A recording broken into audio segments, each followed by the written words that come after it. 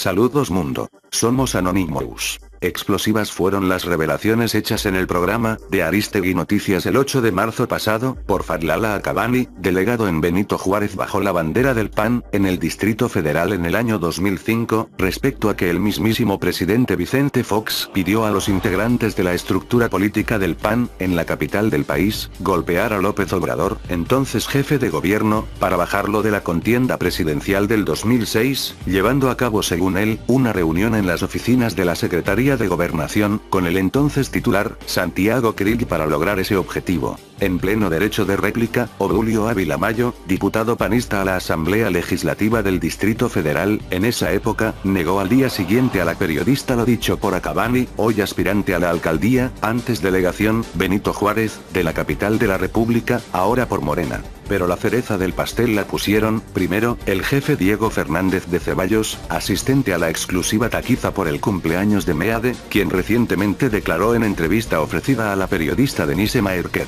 Cuando aquel gobierno de Fox trataba de dar un golpe a la mala a López Obrador, a través de la PGR, yo me crucé en favor de López Obrador. No porque le tenga aprecio o cariño, sino porque era una canallada la que se le iba a hacer.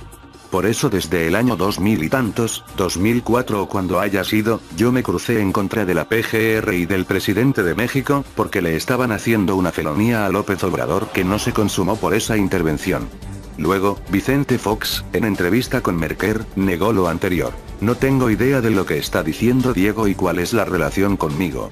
No tuve nada que ver con eso y no creo que la PGR tampoco, no tengo información de que eso, el desafuero, iba a suceder. Las diferencias de los panistas, habrá que agregar los pleitos entre Anaya con Calderón, Margarita y Cordero, más la conversión de Fox en favor de Meade, sirven para mostrar los intereses oscuros y cómo se las gastan para intervenir ilegalmente desde el poder político, y de cómo las instancias abocadas a la investigación y sanción de los delitos electorales no actúan y todo queda en la impunidad. Evidentemente una cosa es que se documenten los mafiosos actos fraudulentos electorales, compra y coacción del voto, guerra sucia, encuestas manipuladas, financiamiento de campañas con dinero ilegal proveniente de las arcas públicas, del sector empresarial, del lavado de dinero y del crimen organizado, y otra es que el INE, el Tribunal Electoral del Poder Judicial de la Federación y la FEPADE investiguen y sancionen hasta sus últimas consecuencias estas acciones. Recientes ejemplos de maniobras y delitos electorales sobran en el actual sexenio, ejemplo, la fulminante destitución en octubre de 2017 del titular de la FEPADE, Santiago Nieto, para frenar la investigación sobre el presunto financiamiento ilegal de la empresa brasileña Odebrecht, a la campaña electoral de Peña Nieto, por conducto de su entonces coordinador de asuntos internacionales, Emilio Lozoya.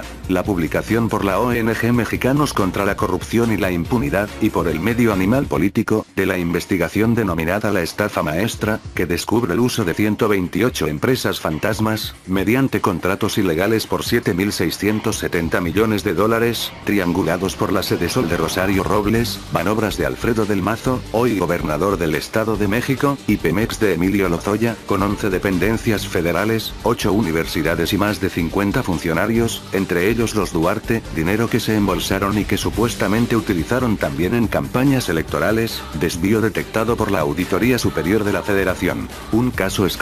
fue la FER, Javier Corral, Secretaría de Hacienda y Crédito Público, en el que, a raíz de la retención de 900 millones de pesos al gobierno de Chihuahua, se investiga y se denuncia el modus operandi de la ilegal transferencia de recursos de la Secretaría de Hacienda y Crédito Público, al PRI, cuando era titular de la dependencia lo y canciller Luis Videgaray, recursos provenientes del Fondo de Fortalecimiento Financiero, incluido en el ramo 23 del presupuesto de egresos de la Federación, para el financiamiento de las campañas electorales electorales como la de Chihuahua en 2016, por conducto del ex secretario general adjunto del Comité Ejecutivo Nacional del PRI, Alejandro Gutiérrez, hoy detenido y sujeto a proceso penal, siendo presidente nacional de este partido Manlio Fabio Beltrones. La utilización de la PGR, como se hizo en 2005 contra AMLO, para desbarrancar la campaña presidencial de Ricardo Anaya en una expedita investigación sobre presunto lavado de dinero. La publicación por el ex consejero local del INE en el Estado de México, Bernardo Barranco, del libro El infierno electoral.